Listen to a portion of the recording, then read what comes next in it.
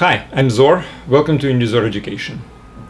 Um, I would like to spend some time just doing some very simple exercises with limits.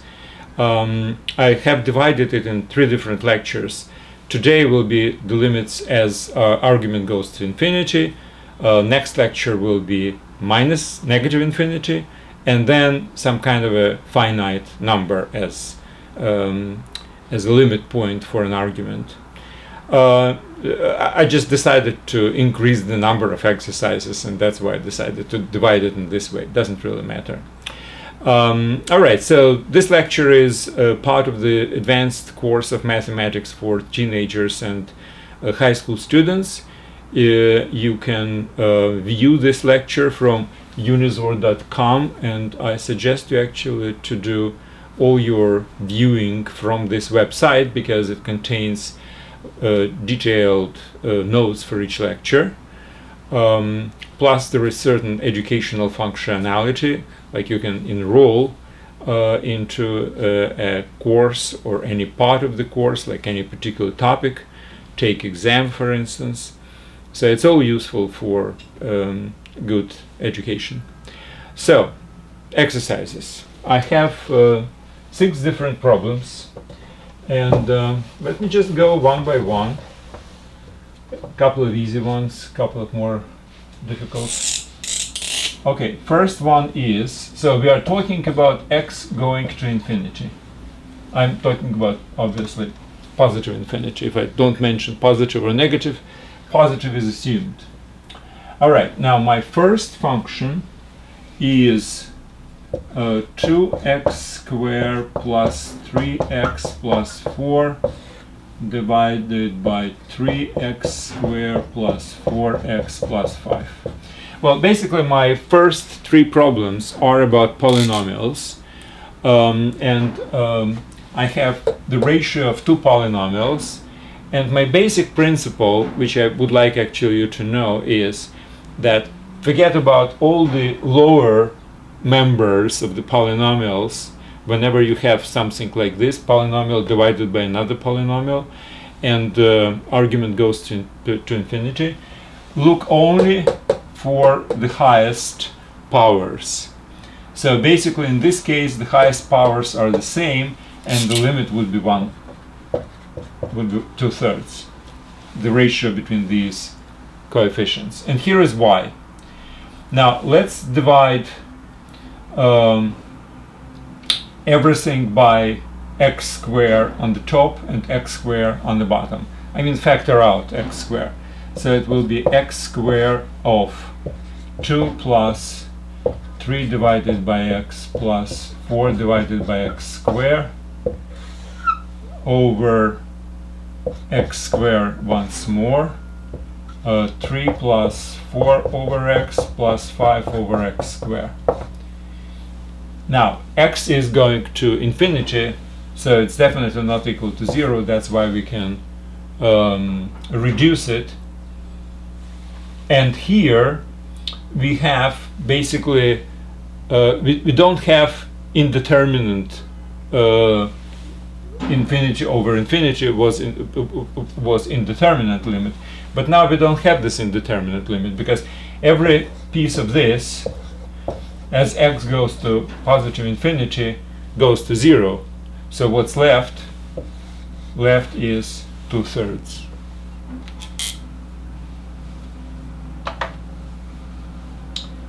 Now that's very much dependent on the highest coefficients to be of the same power. That's why we have this. What if they're not of the same power? Well there are two cases one case is this.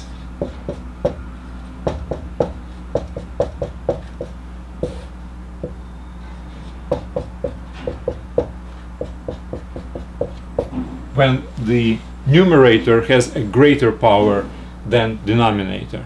Now, what can we do in this case? Well, let's do exactly the same thing. x squared 2x plus 3 over x plus 4 over x squared. X squared 3 plus 4 over x plus 5 over x squared.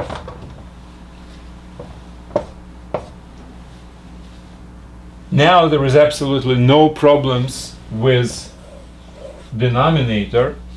As x goes to infinity it goes to 3 and numerator as x goes to infinity this is 0 this is 0 and this goes to positive infinity. So we have positive positive infinity numerator and uh, um, um, bounded value around 3 uh, uh, in, in the denominator. So what will be the result?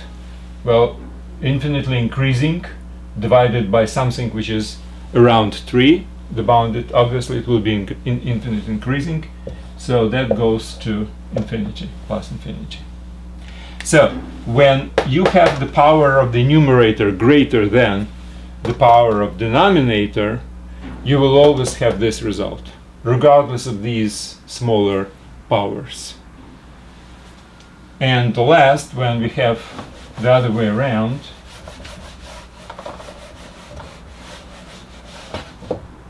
if I have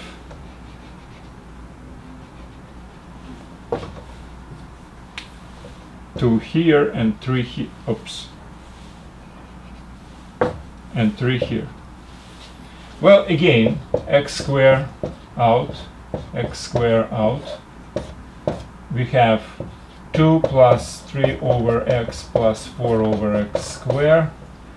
We have 3x plus 4 over x plus 5 over x square. And now what we have? We have a bounded around 2 value in the numerator because these two are infinitely small numbers as x goes to infinity. And here we have infinitely increasing. These are go to zero. So we have somewhere around 2 divided by infinitely increasing. Obviously the result would be infinitely decreasing to zero value because the denominator goes to infinity. So again, it's because denominator has a higher power than numerator. So whenever you have a ratio of two polynomials and you're talking about argument go, going to positive infinity, all you have to do is compare the highest powers. Um, if numerator is the same as denominator, then the result would be just the ratio of their coefficients uh, at these highest powers. If numerator is greater, then power of numerator is greater than the power of denominator, it will go to positive infinity. And if denominator is greater, it would be going to zero. All right, so these are simple, three simple cases. Now, something which is also simple, but you have to just make a little trick. Actually, I think I did explain this before. So, as x goes to infinity, what happens? This is um, the uh, infinitely small uh, value. So it goes to zero. And the sine of something which is tending to zero would tend to zero. Remember this. Now this, on the other hand, goes to infinity, infinitely increasing. So it's kind, of an indeterminate uh, infinity times zero. However, you can recognize this as this. So instead of multiplying by x, I divide it by 1 over x. Now what do I have? Let's consider two functions. The first, the first function is 1 over x. The second function is sine x over x. As x goes to 0, g of x goes to 1. We know that. It's one of the amazing limits which we were touching in the previous lecture. Now, as x goes to infinity, this is going to 0. as x goes to infinity. Now we can apply the theorem about compound functions because right now what we have here it's a g of f of x right? So instead of x we substitute 1 over x. And we know that this function goes to whatever the limit of this function is. You see this 0 corresponds to this 0 so that's why the limit of this is equal to 1 as x goes to infinity. So as x goes to infinity, f at x goes to 0.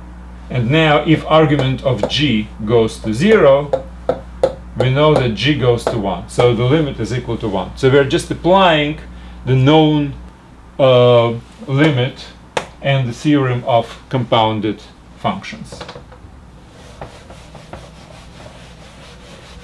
Now the last couple of examples uh, might be a little bit more interesting because that re requires certain, well, a little trick maybe if you wish. Okay, x divided by 3 to the power of x. Now, um, I'm, I'm pretty sure that everybody feels that x, which is this, 3 over x is something like this. Obviously 3 over x grows significantly faster, at least a little bit further down the line than function x. Function x grows linearly and 3 to the power of x goes exponentially and we all know that exponential is uh, uh, growing faster than the, than the linear function. I mean, there are cer certain cases, for instance, you have linear function which, are, which is very, very steep, and exponential is very, very, very slow. Like this is, for instance, the curve as our money are growing in the bank, if bank is, is, is paying minuscule percentage. However, however, eventually this thing will always overtake however steep the um, linear function uh, will be. And we will be proving this actually. So in any case, right now we have a simple case, x over 3 to the power of x, and we have to prove that 3 to the power of x really grows significantly faster, and if it grows faster as x goes to infinity, then the whole thing should actually go to zero. I mean, that's our natural kind of a guess, right? Question is how we can prove it. Well, we do know certain properties of functions, uh, including exponential functions, and that's what I'm going to, to do right now. So what I will do first, my plan is, first I would like um, to prove that x is smaller than 2 to the power of x. Now, why do I need it? Well, because I cannot really divide x by 3 to the power of x and get some analytical calculations because they're not mixing. This is linear function, this is exponential function, these are not mixing. But if I will prove this, then x to the x divided by 3 to the power of x would be less than 2 to the x divided by 3 to the x, which is 2 thirds to the power of x. And we know that if this is a smaller than 1 base for exponential function, and this is smaller than 1, then it will go to uh, 0 as, as x goes to infinity. It's just one of the properties of exponential functions. And by the way, I might actually remind you that there is a very nice um, lecture, actually a couple of lectures on exponential functions in this course in the algebra chapter or part of this course. All right, so that's my plan. Now, if I will do this, if I will prove this, then this immediately follows, which is equal to this, which is basically obvious that this will go, it's just straight from exponentiality, exp from, from the properties of exponential function with the base less than 1. So that's basically the only thing which I which, which I need to, to, to prove rigorously as much as possible rigorously. I mean there are always kind of limits to rigorousness. So let me concentrate on this because this will follow basically automatically. How can I do that?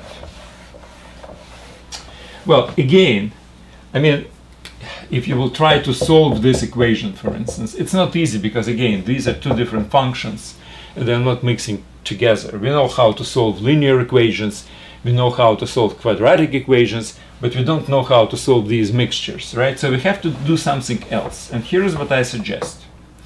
Look at the function y is equal to x. Well, it's a linear function and it's monotonically increasing. Now, if x is natural number, n, n plus 1, we know basically what x is and we know, and we know what 2 to the power of x actually is. But what if x is in between? Then 2 to the power of x is kind of difficult thing. Ra rational exp exponents, uh, it, it needs certain explanations. But, but here is what we do know. We know that this function is monotonically increasing, which means that we always have such an equation. X is always between two integer numbers, right? Now, 2 to the power of x is also monotonically increasing, and that's one of the properties which we have proven actually again in the course of algebra when I was talking about um, exponential functions. So 2 to the power of x is as monotonic function also between this and this if x is between n and n minus 1. So what I'm going to prove, I'm going to prove this, that n plus 1 less than or equal to 2 to the power of n. But I will prove it for any n, well, greater than maybe some 1 or 2 or whatever, after some beginning. And if I will prove this, then from this, this would obviously be less than this, because this is less than this, and this is greater than this, right? So that's obviously would be the case. So that's all I would like to do right now, to prove this for integer n's. Now for integer, it's easier. Why it's easier? Because I can use the method of mathematical induction. So let me just do it, and this is, and this is trivial part, obviously. How can I prove that n plus 1 is less than 2 to the power of n. Well, let's just check it out. For n is equal to 1, this is 2, and this is 2 to the power of 1, which is 2. But for n, for it, it's equal. But for n is equal to 2, this is 3, this is 4. 3 less than 4. For n is equal to 3, it's 4, 8, etc. Obviously, this grows much faster, but let's prove it. How can we prove it? Well, again, using the method of mathematical induction. First, for n is equal to 2, it's true, because it's 3 and this is 4. Let's assume that for certain n equals to k, um, k plus 1 is less than 2 to the power of k, and now we will put k plus 1. Now, what do we have to prove? We have to prove that that n plus 1, which is k plus 1 plus 1, less than 2 to the power of k plus 1. But I already know that this, by my induction assumption, is less than 2 to the power of k plus 1. Now, and obviously this is less than 2 to the power of k plus 2 to the power of k, right? Because 2 to the power of k is greater than 1. And this is 2 to the power of k plus 1, which is what we actually have to prove. Right? For n is equal to k plus 1, this is k plus 2, and this is 2 to the power of k plus 1. So that's easy. Basically, that's it. That's a complete proof of this equality. Inequality, sorry. And from this inequality, as I was just saying before, immediately follows that this goes to zero because x over 3 to the power of x is smaller than, than 2 thirds in the power of x, and that obviously goes to zero. By the way, I didn't mention it, but um, it's kind of, uh, I assume that you understand. You see, since x to the 3x is greater than 0 and less than 2 to the power of x over 3 to the power of x, which is equal to 2 thirds to the power of x, and this goes to 0, this is again a typical example of the squeeze theorem, right? That's why this also goes to zero. Or two policemen and a drunk. All right, so that's relatively easy and very simple kind of usage uh, of uh, monotonicity and uh, and induction. So using the monotonicity of these functions, um, we have basically reduced the problem to only integer argument. And for integer argument, we uh, could do it by induction. Um, let's do something similar right now. Let's uh, let's prove that ax plus b would be less than 2 to the power of x. And let's consider that a is greater than 0 just for Okay? So we were we have proved that x is less than 2 to the power of x. Let's just make more general thing. Can that be proven? Yes, I just mentioned before that even if it's very steep when a is really very large, and even in this case, we eventually overcome, no matter how steep this linear function is. How can I prove that? Well, again, absolutely similarly. We uh, know that ax plus b is a linear function, so it's monotonic. So obviously, we can always find for any x something like this, where it's in between two integer variable. So ax plus b would be um, less or equal to a n plus 1 plus b. Or if you wish, a n plus b plus, plus 8 plus a which is actually a n plus c if you wish. If b plus c is equal to c. It's still a constant, right? So I will prove that for any constant, this would be less than this. Not immediately, not was for n is equal to, to 1, but starting at certain point, which obviously depends on how steep my a actually is, because if a is very large, then it will go all the way up, right? And 2 to the power of n, in the beginning, it's not really so steep. It goes steeper and steeper, and eventually it, it will overcome. So anyway, let's just prove it by induction. So first, let's try to find where exactly my first um, beginning, I cannot start from n is equal to 1. I should start from something else. So what should I start it from? Well, um, obviously um, we can start it from something like this. Um, a n plus c would be less than a uh, plus c times n, right? n is natural number.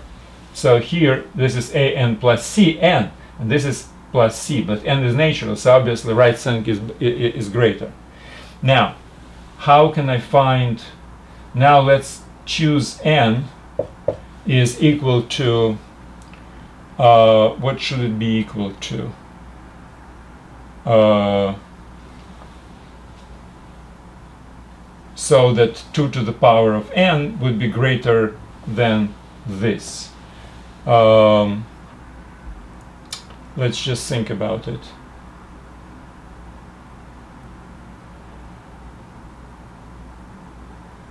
Yeah, something like this. This is less than than a plus c 2 to the power of n, right? Because we have already proven before that n is less than 2 to the power of n. So now what I have to do is um,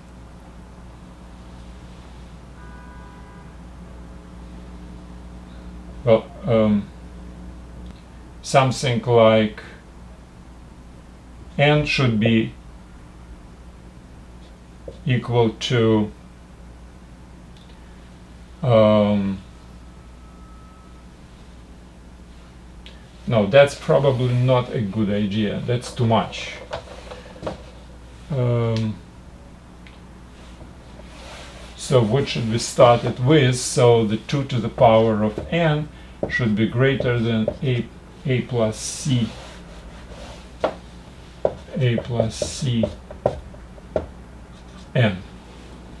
Um, well, um, oh, here it is. Um, so let's divide it by 2 to the power of n. So I will have uh, 1 greater than a plus c n over 2 to the power of n. Let's divide by a plus c n to the 2 power of n less than 1 over a plus c. Okay. Here is what I can say. We have already proven that n over 2 to the power of n goes to 0. It's infinitely small. So eventually it will be less than a, a 1 over a plus c and stay that way. So for any um, epsilon, if you wish, we can find such delta, if you remember, that it will be less than this. So this would be our epsilon. So there is always some kind of a number n after which it would be smaller than epsilon. So that particular number of n, which we know exists because we have proven that this goes to zero, this n would be our beginning.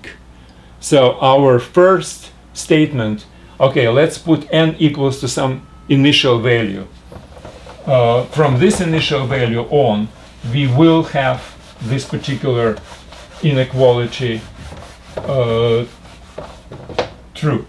So this is our first step. n is equal to n0, which depends on, now we're talking about what? We're talking about ax plus b should be um, less than 2 to the power of x, right? So we have found, based on a and b, we have found some kind of a number, and 0 from which we can start already uh, thinking about going forward. So graphically, this is my ax plus 0, this is my 2 to the power of n, somewhere they will cross. And starting from this point, my 2 to the power of x would be greater. So this is the point where I start. We know it exists because we have already proven that n over 2 to the power of n goes to 0. Now let's apply our induction again. So let's assume that at n is equal to k, a k plus b less than 2 to the power of k.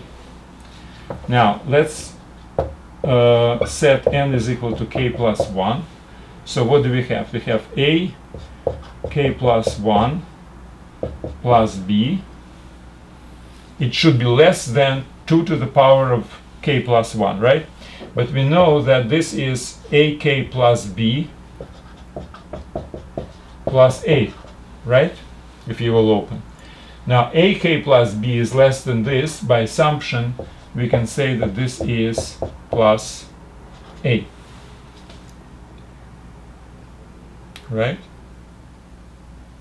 And now,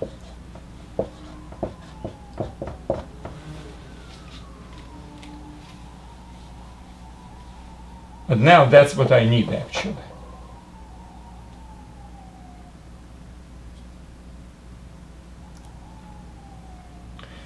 So, with sufficiently large beginning of this, when we actually know that in the beginning my initial uh, condition is already uh, is already set. I know that 2 to the power of k is greater than this. And obviously, since k is integer, so it's obviously this thing is smaller than 2 to the power of k. So a is smaller than 2 to the power of k.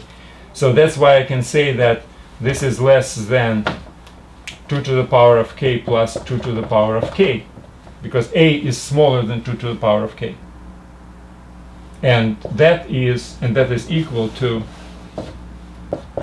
2 to the power of k plus 1 so our induction logic works fine so all I was just using that this thing is uh, this thing is less than 2 to the power of k and that's why I substituted I increased actually from a to the 2 power of k. Okay so that completes this. So not only I have um, x divided by 3 to the power of x I actually have proven that any ax plus b divided by 3 to the power of x would also be infinitely small variable because um, because the numerator is less than 2 to the power of x. Eventually we're talking about x going to infinity. So with sufficiently large x the numerator would be less than 2 to the power of x and 2 thirds to the power of x goes to 0 okay so any linear function how about quadratic function okay one more uh, little exercise so we have x squared divided by 3 to the power of x. I would like to prove that this is also going to 0. And for this, I would like to prove this in exactly the same fashion. How to prove this?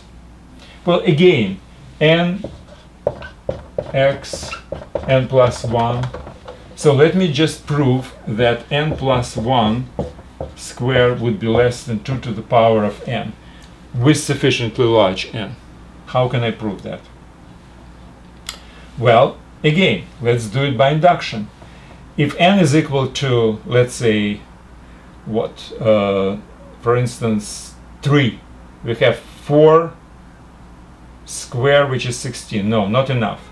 Uh, n is equal to 4. This is 5, 25. Okay, n is equal to 4. It's already good because this is 5 square 25 and this is, oh no, too small, 5. This is 6 squared 36 and 5 32 also not enough. 6. Uh, 7 squared 49. 2 to the power of 6 is what? 64. Okay, now we have it greater. Alright, so starting from n is equal to 6, I would like to prove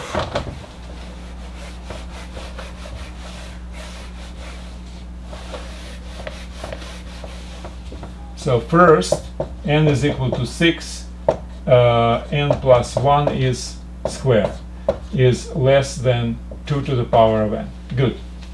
Now, assuming that for n is equal to k, I have k plus 1 square less than 2 to the power of k. Now, let's set n is equal to k plus 1. So what do I have? k plus 1 plus 1. So it's k plus 1 square pl plus 2 k plus 1 plus 1. Now, I know that this is less than, this is less than 2 to the power of k plus 2 k plus 1 plus 1. Now, this thing is a linear function of k. So basically I know that 2 to the power, uh, sorry, uh, 2k, this is 2k plus 3. I know that 2k plus 3 less than 2 to the power of k with k sufficiently large. So whatever the function, whatever the, uh, whatever the number which is sufficiently large to make this thing uh, correct. I will add to this one if it's necessary. In this case, actually, I don't think it is necessary because this thing even for k is equal to 3, 9, no, 4, uh, 8, 11, yeah. with k is equal to 4, it's already true and all greater. So basically, we started from 6, so we are safe. So this thing we can always use. So this thing is less than 2 to the power of k plus 2 to the power of k, which is equal to which is equal to 2 to the power of k plus 1, and our induction is working fine. So basically, um, I can continue this type of proof, if you wish, for a polynomial of any degree. And actually, any polynomial p of x divided by 3 to the power of x would be eventually going to 0 because the polynomial itself would eventually be less than 2 to the power of, power of x. And that was my last problem which I wanted to discuss today. Um, how about um, you just go to the website unizor.com and uh, read again these problems, whatever um, I have today discussed, and try to solve them yourself. That would be a very good exercise. And basically that's it. Thank you very much and good luck.